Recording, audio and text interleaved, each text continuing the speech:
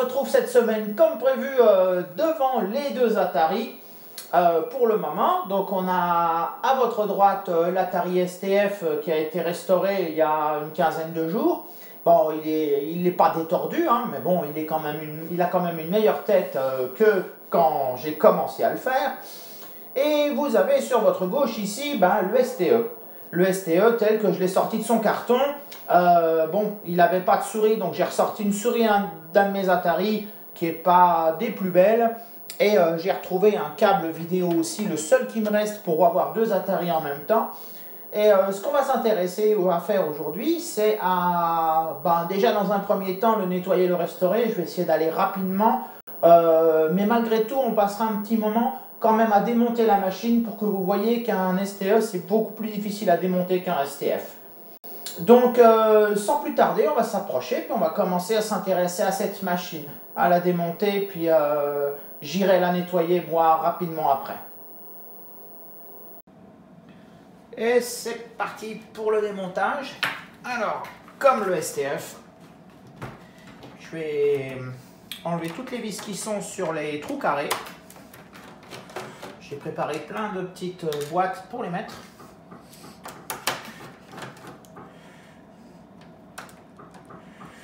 Celui-là, il a au moins il a toutes ses vis, donc euh, je pense qu'il est en bien meilleur état. Il n'a pas l'air complètement cuit, quoique je vois déjà une petite cassure ici. On va tâcher d'y aller mollo. Parce qu'en fait, ils étaient stockés ensemble, donc euh, s'il était dessous, il a peut-être moins eu chaud, mais... On va voir.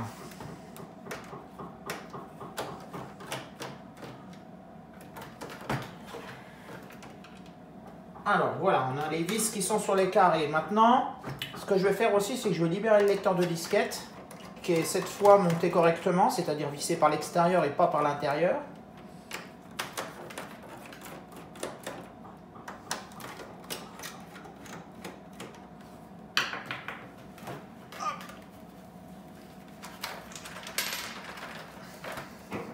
Évidemment, elles ne veulent pas venir.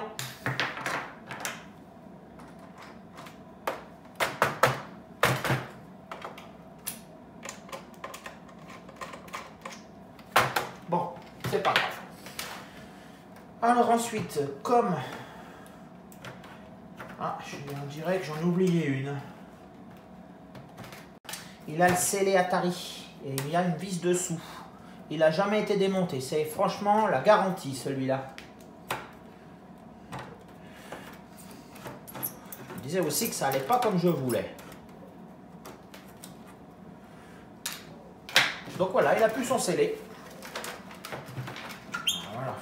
ça va mieux. Donc voilà, le capot, c'est déjà une chose de faite. Ensuite, on peut enlever le clavier. Voilà, bon ben il est comme euh, celui du STF. Euh, il sera nettoyé, retro bright, tout ça. C'est bien cette machine en AZERTY. Bon, il est complet pour moi. Ben, on remarque, s'il n'a jamais été ouvert, c'est un peu normal. Alors ensuite, euh, on va enlever les blindages sur l'alimentation.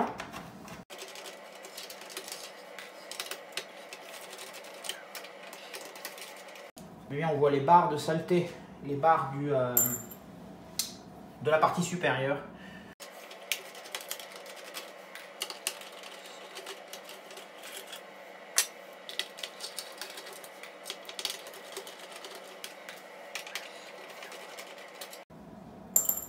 Ensuite, il y a des petits trucs à détordre.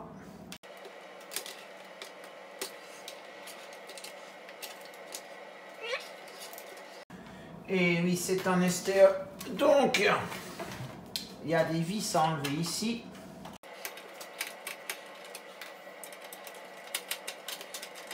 Et on voit la saleté déjà qu'il fait sur la table. Hein.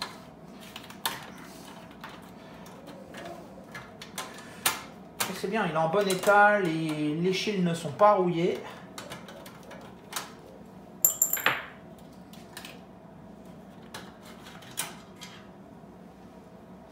Voilà.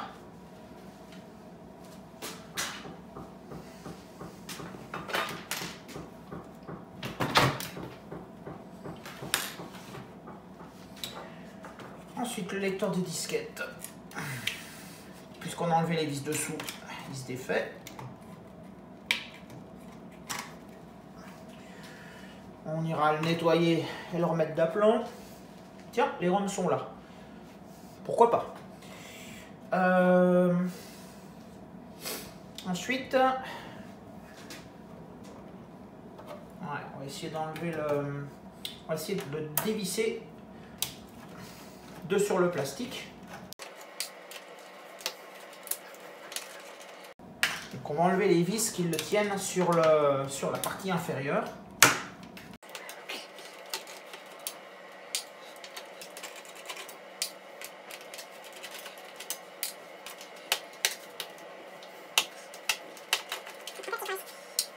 Et il y en a encore.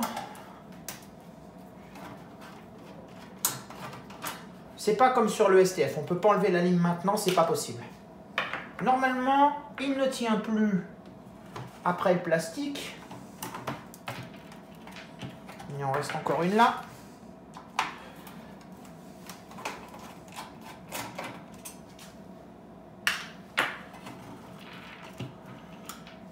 Non, ça tient encore.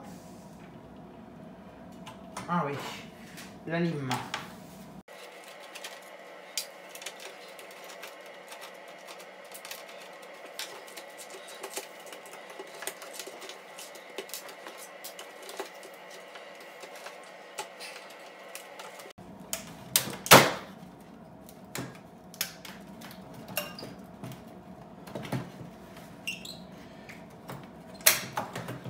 Normalement,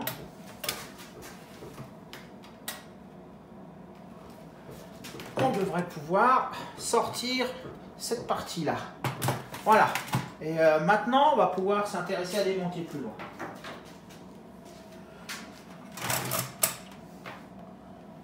Maintenant, le shield supérieur. Euh, Peut-être l'alimentation? Non.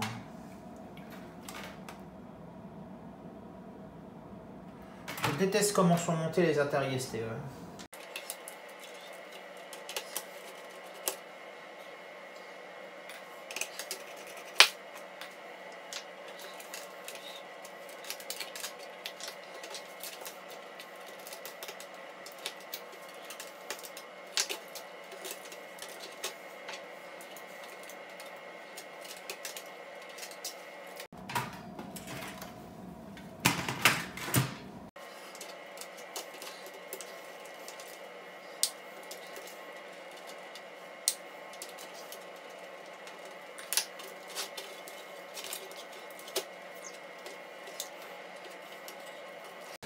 Alors ensuite, il faut enlever le métal qui est là.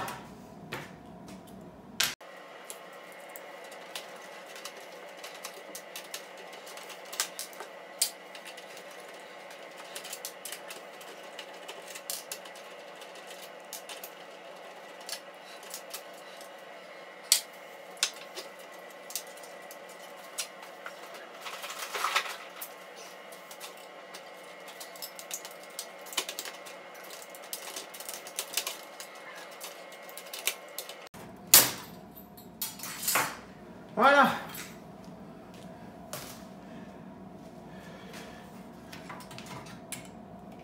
Et on une alimentation.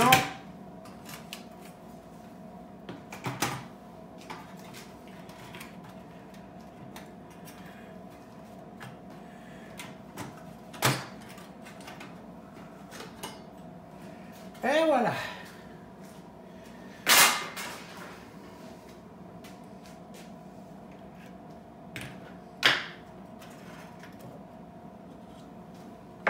Voilà un STE. Donc euh, cette carte mère, elle est bonne à nettoyer, ainsi que l'alimentation est bonne à nettoyer aussi, euh, comme tout le reste de la machine, le clavier et tout. Et euh, je me dis qu'en fait, eh cette vidéo, elle va se tourner en une restauration complète de cet Atari STE, parce que vu le temps que j'ai déjà passé à démonter la machine, euh, je vais pas avoir le temps de traiter correctement le sujet de la comparaison de cet STF avec cet STE et puis de regarder ce qu'on peut faire avec un Amiga à côté dans cette vidéo. Donc, euh, sans plus attendre, continuons. On va changer de place, on va partir euh, dans ma salle de bain pour nettoyer cette carte mère. Et je vais vous montrer comment je vais y aller pour nettoyer cette carte mère. Donc, à tout de suite. Alors, pour nettoyer une carte mère euh, ou des cartes électroniques qui sont euh, sales et qu'on ne peut pas avoir seulement à l'alcool parce que c'est tout collé dessus, voilà ce que je fais. Moi, tout simplement, je nettoie à l'eau. Euh, après, bien sûr, il faut bien faire sécher. Hein, puis on va essayer, on essaie d'enlever au maximum tout ce qui peut être enlevé. J'ai enlevé les barrettes de mémoire. Donc voilà, donc la première chose que je vais commencer par faire, c'est mouiller tout ça histoire euh, d'enlever euh, déjà le plus gros. qu'on voit la sauce que ça peut faire.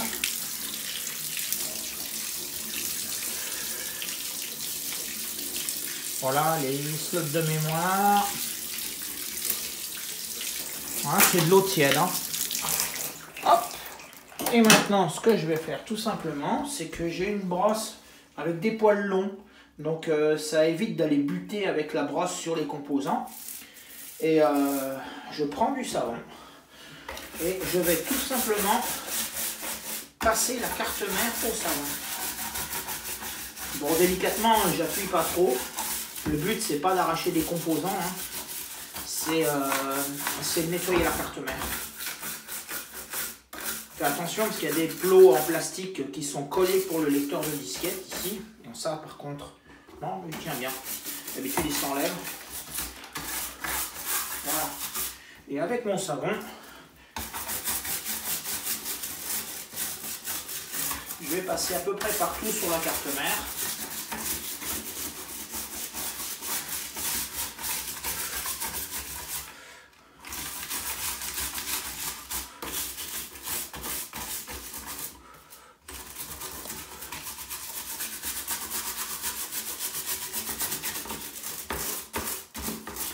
Ports midi. Sous gros condensateur dont je cherche toujours l'utilité. Voilà, j'ai une carte mère, je pense qu'il sera mieux. Et la même chose avec l'alimentation, mais l'alimentation c'est juste un peu plus dur parce que c'est encore des composants plus grands.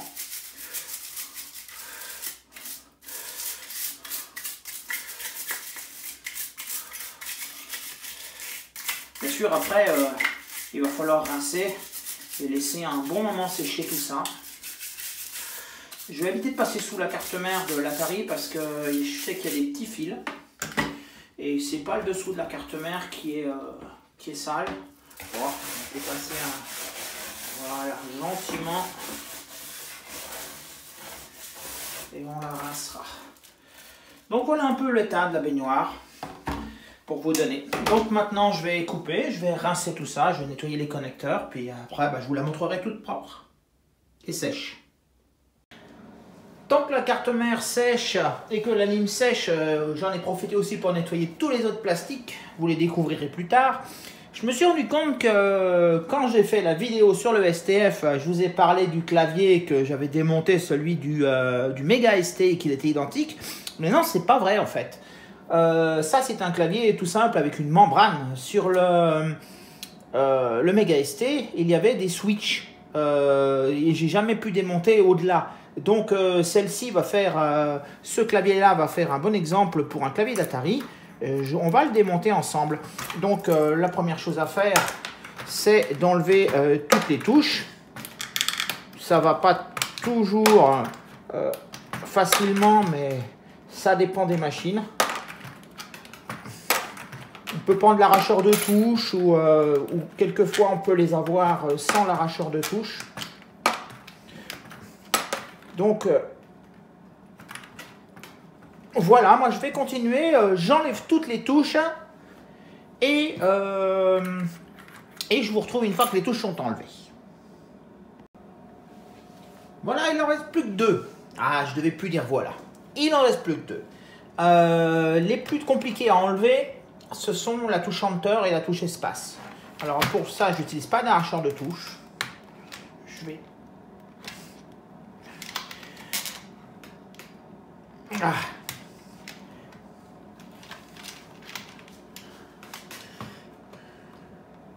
Voilà, elle est décrochée. Mais il faut lui faire lâcher la barre sans casser la touche.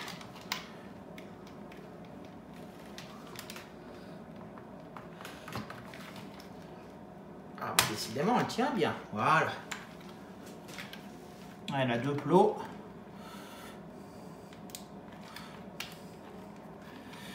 Donc il y a deux petits bouts de plastique blanc dans la touche.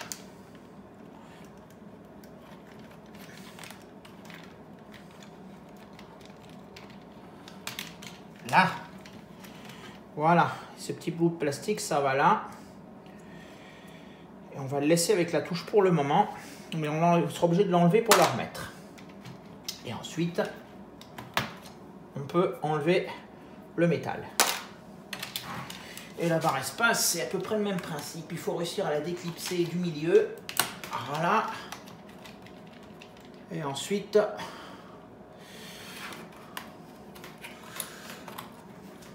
moi, j'enlève les petits plastiques blancs. Si j'arrive à les choper.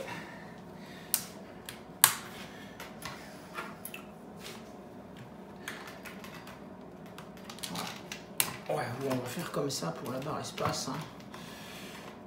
On va sortir, voilà.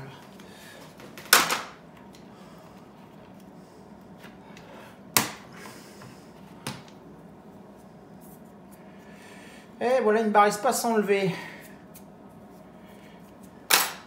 Et voilà l'état du clavier.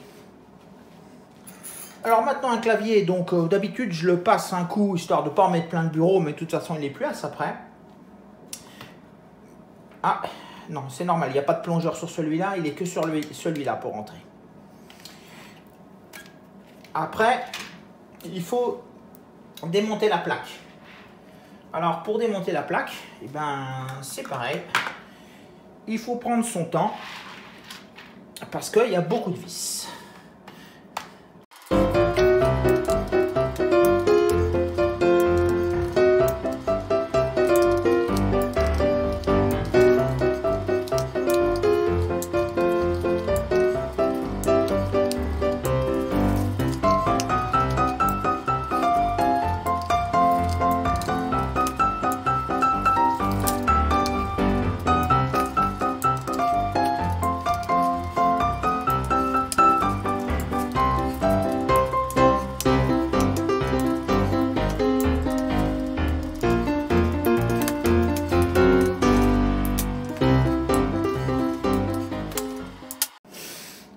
On peut enlever la carte. Et là, on fait attention. Parce qu'il y a tous les dômes. Alors, j'ai pris une boîte pour ça.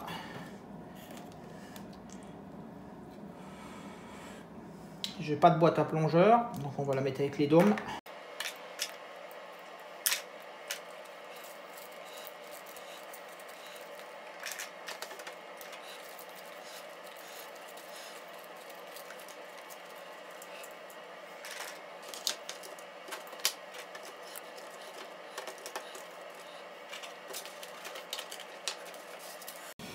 Et ensuite, on a tous les plongeurs.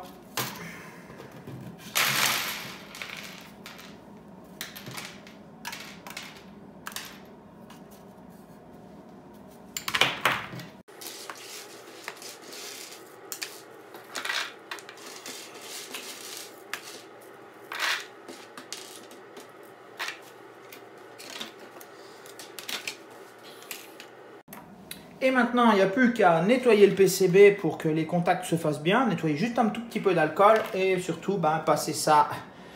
Gros nettoyage, grand nettoyage, rétro bright. Donc euh, je vais aller nettoyer tout ça et on se reprend après pour la partie rétro bright. Donc voilà, les touches sont propres et on se retrouve pour le rétro bright. Alors le rétro bright, c'est un bocal de 1 litre avec... Euh, Et voilà, dans ce bocal, je lui ai mis un verre d'eau oxygénée à 35%, donc qui est titré à 35%. Et euh, j'ai complété d'eau, bon, il n'y en a pas du tout le litre. Hein. donc ça fait un mélange qui doit tourner aux alentours des, des 10% à peu près, le titre.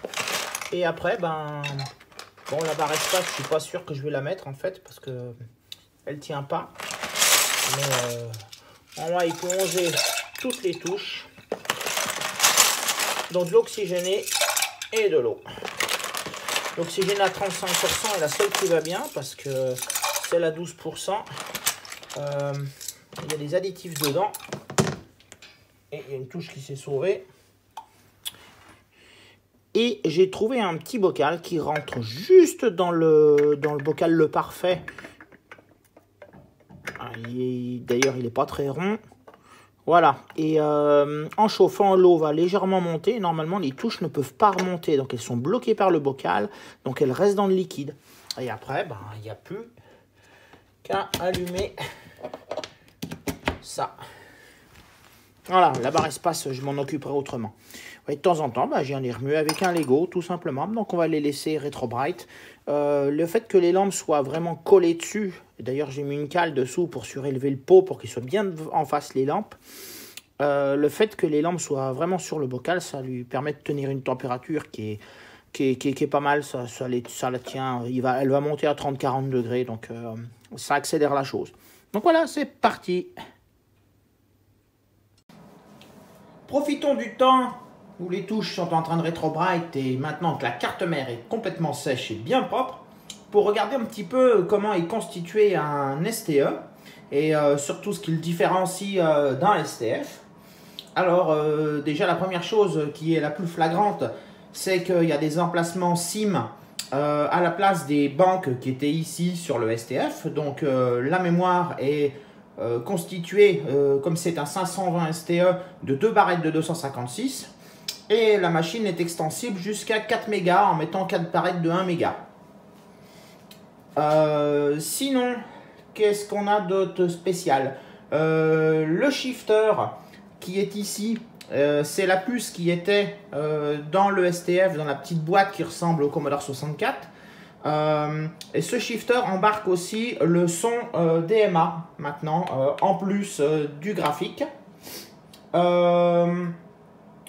Le glue, euh, donc le composant qui gère euh, le clavier et plein d'autres choses, euh, et les ports joystick, c'est vu adjoindre le MMU qui était séparé dans le STF et maintenant ça fait partie, tout, c'est tout dans la même puce.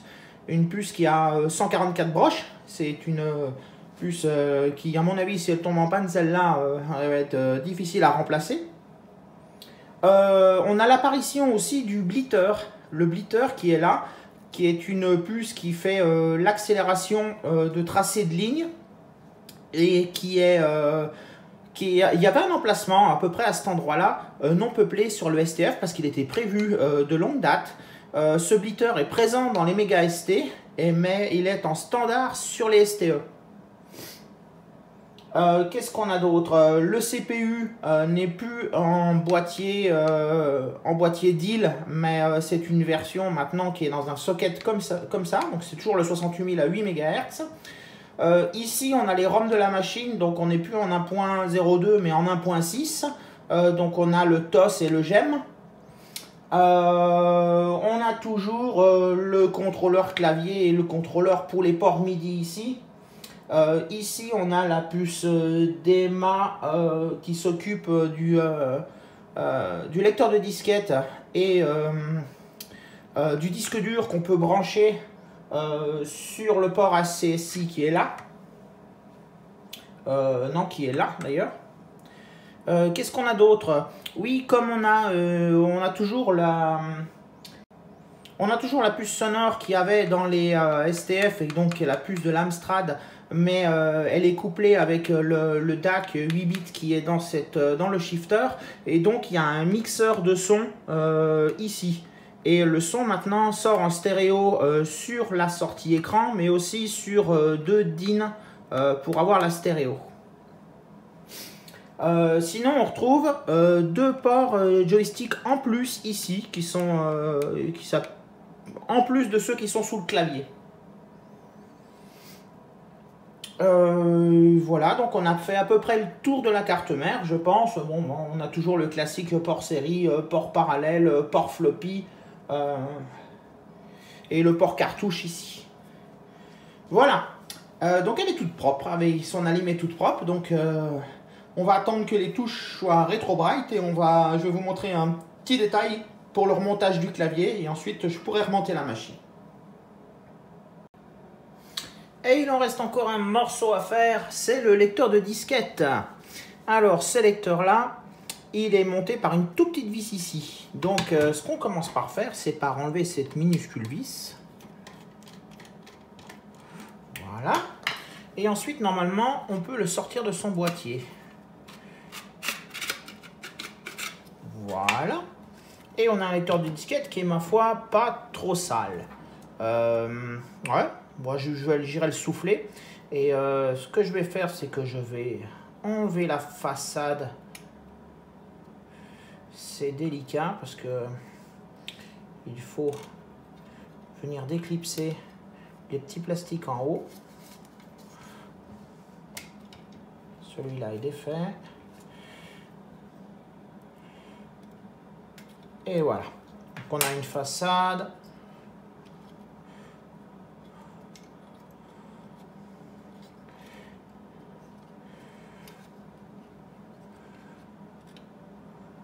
Le bouton normalement.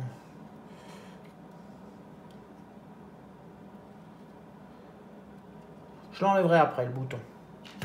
Voilà, mais déjà, on va s'intéresser à nettoyer les têtes. Je pense qu'il est en bon état, donc euh, je vais juste le nettoyer et essayer, tout simplement. Donc avec de l'alcool isopropylique,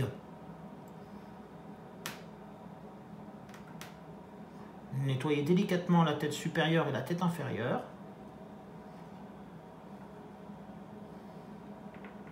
on insiste un petit peu.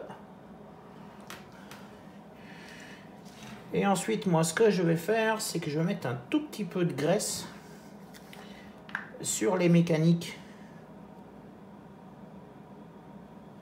d'entraînement de tête.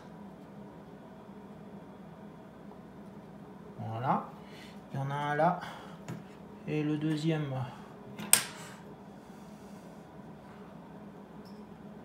Je pense que c'est pas trop nécessaire parce que c'est directement le moteur là. On lui mettre un petit point de graisse, c'est tout. Voilà, voilà. Et je devais pas dire voilà. Ensuite, si je prends une disquette.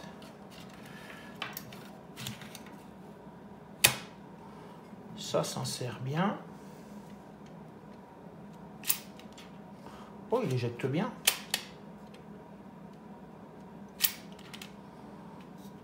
Bon, je pense qu'on est tout bon. Donc, euh, je vais démonter le bouton. Euh, et ensuite, je vais nettoyer euh, la façade et le bouton. Et puis, on testera ce lecteur directement sur la machine parce que je le trouve en très bon état. Donc, on va pouvoir l'essayer. Le lecteur est fini de remonter. Euh, j'ai nettoyé la façade, le bouton, tout. Voilà. Donc il est euh, fonctionnel normalement. On va en profiter maintenant. On va commencer à remonter le clavier. Alors pour ce faire, je vais commencer par vider cette boîte pour que ce soit plus facile à prendre. On a tous les plongeurs dedans et on a tous euh, les dômes. Donc pour remonter le clavier, moi, je lui prends comme ça. C'est-à-dire que je vais euh, mettre sur des Lego. Voilà, mon dessous de clavier pour le surélever. Et après, eh ben, je vais mettre chaque dôme, chaque plongeur, pardon, à sa place.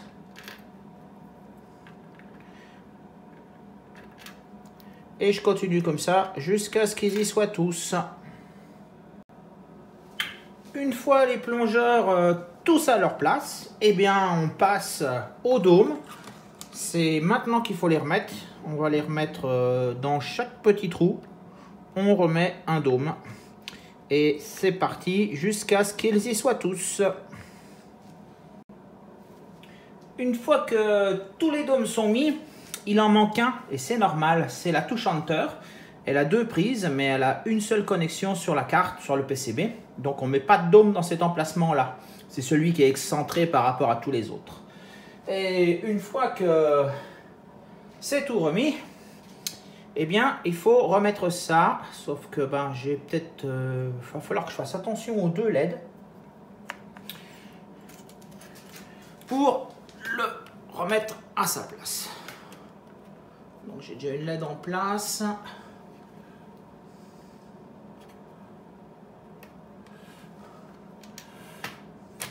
Voilà.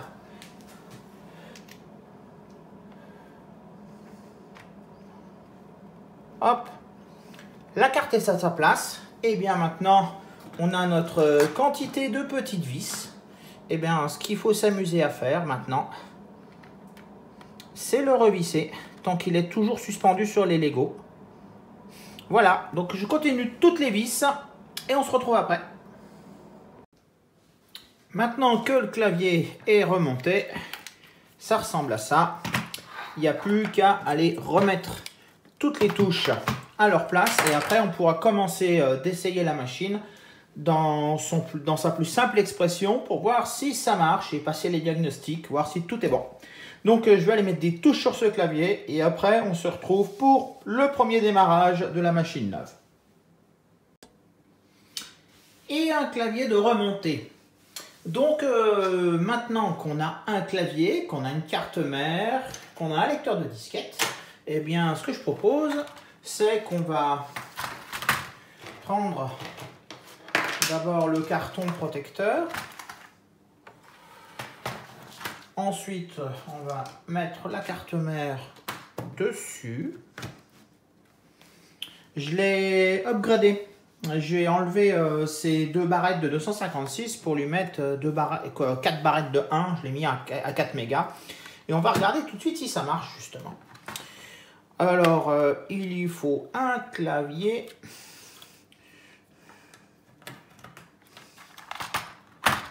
On va, sur le clavier, on va en profiter pour brancher une souris.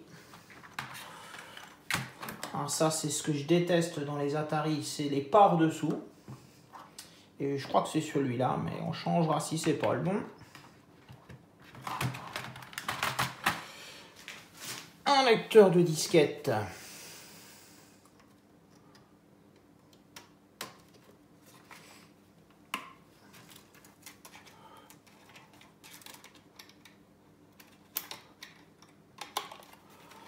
Hop, on va le poser là près sur son emplacement. Euh, une alime.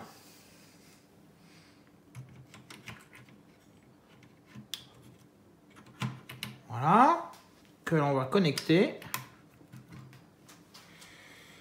Ensuite, on va mettre un cordon vidéo. Euh, je sais pas dans quel sens il va celui-là. Même ça. Et finalement, une alimentation.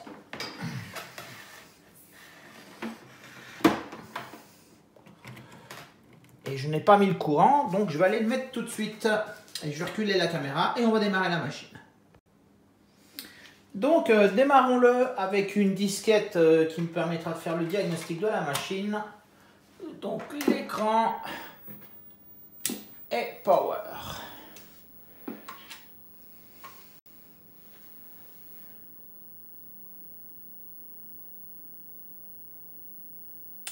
Va-t-il démarrer sur la disquette?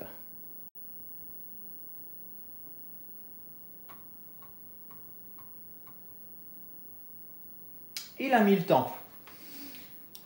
Bon, ben ça marche. Bon, j'ai un petit problème avec mon écran apparemment.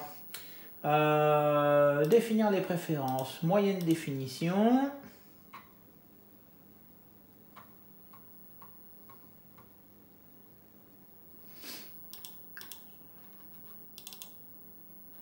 Va lancer le programme 6info pour voir un petit peu ce qu'il y a dans la machine. Et je vais approcher peut-être un petit peu la caméra parce que ça risque d'être petit sinon. Hop. Voilà. Donc on est tout bon.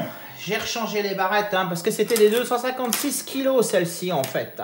Donc ça m'avançait pas beaucoup. Elles font la même capacité que les barrettes qui sont de base euh, dans le STE. Mais voilà. Donc euh, il fonctionne. Euh, il est en TOS 1.62 comme je le pensais, comme les STE. Et il a 4 mégas de mémoire. Et tout semble aller pour le mieux. Et donc cet Atari est donc fonctionnel.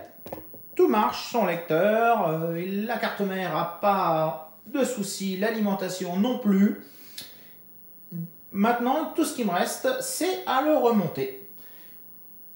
Donc c'est parti pour le remontage. Euh, je ne vais pas le filmer parce qu'il y en a encore pour une bonne heure, je pense. Donc je la remonte et on se retrouve après.